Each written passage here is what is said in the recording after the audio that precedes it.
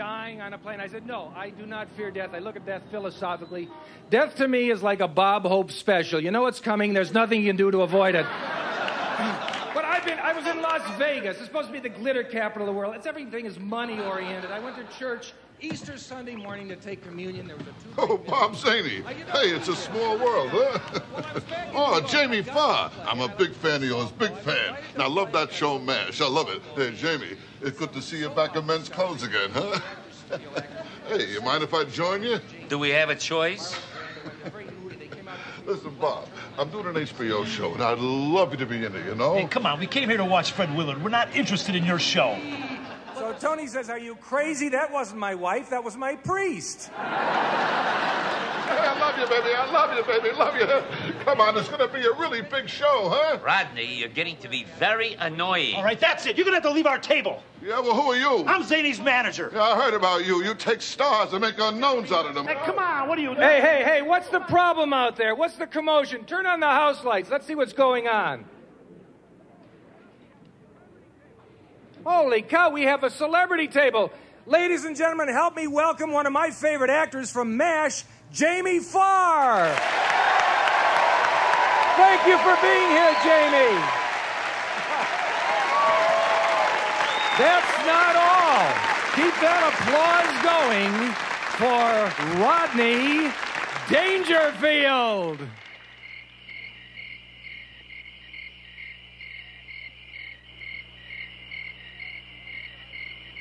I thought he was here. I heard there was a rumor he was in the house. Welcome one of my favorite comics, my hero, the funniest guy in the business today, Bob Zany. Bob Zany. Zany, Zany, Zany, Zany, Zany. Let's see if we can get up here to say hello.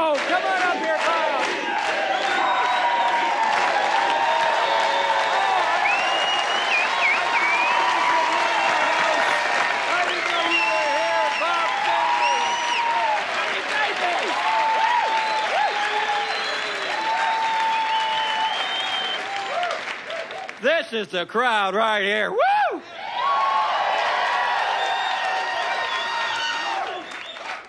A lot of people, a lot of people ask me if Bob Zany is my real name, and I'll be honest, it isn't. My real name is Big Dick McGee.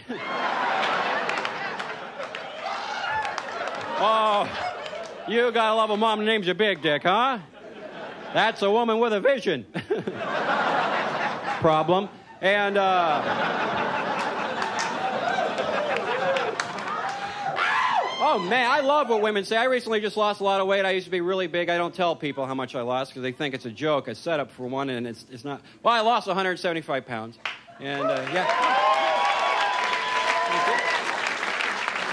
I knew I was big. I knew it. I saw a bumper sticker. It said, "Lose weight now. Ask me how." So I asked the guy. He said, "Go on a diet, you fat pig."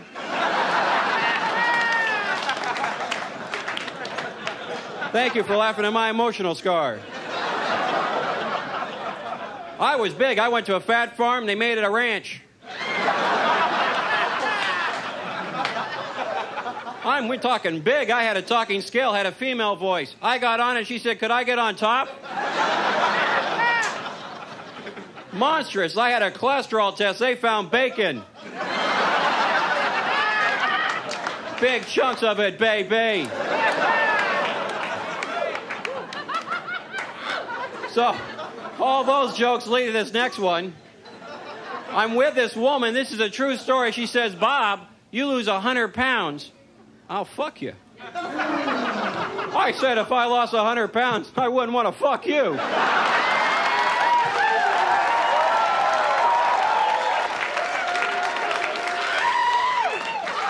It's now or never, baby. I was at Denny's the other day, ordered pigs in a blanket. They brought me a picture of my parents in bed.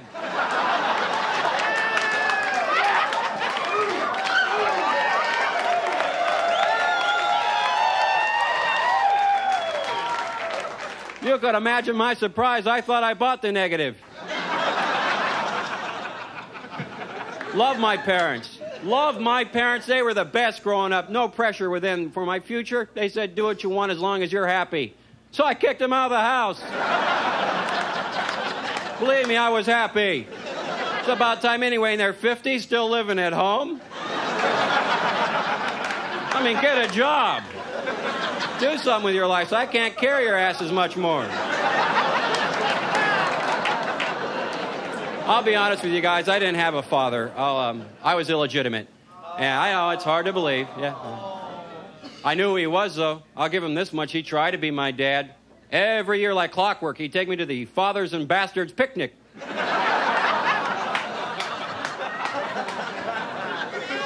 Funny man, too. Great sense of humor about being overweight as a kid. He'd take me in the backyard, throw me in the pool, and yell, Be free, Shamu. you know, I just saw on TV today, they brought it back, the Sizzler commercial. You know, the three ladies going to lunch. The one goes, Hey, I don't have a lot of time. Sizzler. The other lady goes, Hey, I don't want to spend a lot of money. Sizzler. It's like if you say Sizzler that way, everything's going to work out in life. Hey, I think I have a yeast infection. Sizzler. I haven't gone to the bathroom in over a week. Sizzler.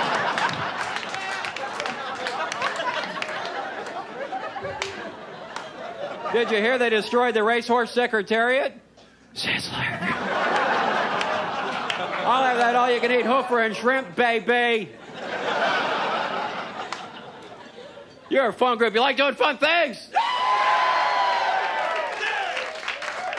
Fun to do and also good to do, you guys, is goof around on a job application. Have you ever done that, Sparky?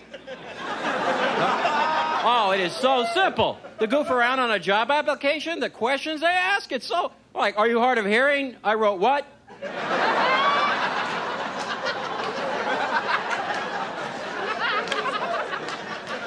Have you ever been convicted of a felony? I went down murder twice.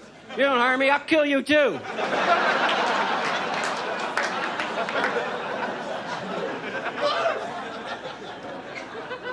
Under print name, I put N A M E. I knew you'd get that one. Name three character references. I put Manny, Mo, and Jack.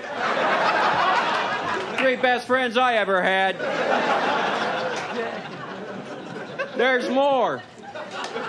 Under date, I put small edible fruit.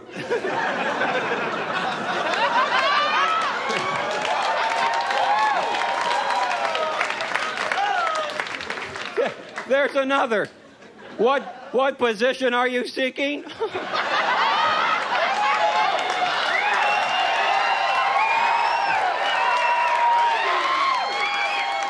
I put doggy style.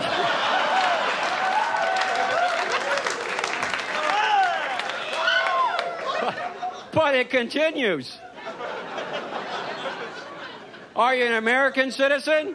I put C. so I got the job. I, I'm an air traffic controller. I'm at the weirdest point in my life right now. I'm at the point where I don't know what's right or wrong sometimes. You ever get that way, Sparky? well, see, I know what's wrong, but my feeling is if it's so wrong, who's it gonna hurt, you know? Let me ask you if this is so wrong. When you wake up in the morning and the cat's licking your penis,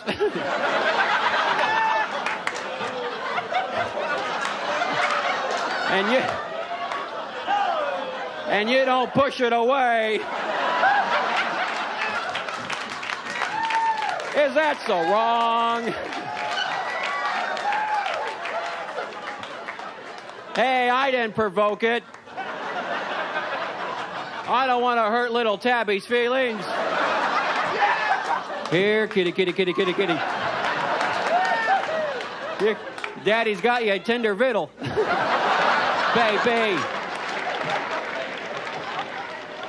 I like being cool. I think James Bond in the movies is like the coolest man that ever lived. When it came to women, Sparky, if he wanted a woman, what do you have to do? What? All he had to do was go, Bond. James Bond. And they would be together. That is so impressive. So I gave it a try last night. I was at the El Torito. And I know I'm name dropping again. And Very attractive lady there. I couldn't help myself. Had to go up to her. Just went, Zany. Bob Zany. She said, off. Fuck off. Hi, Bob Zany. Thank you.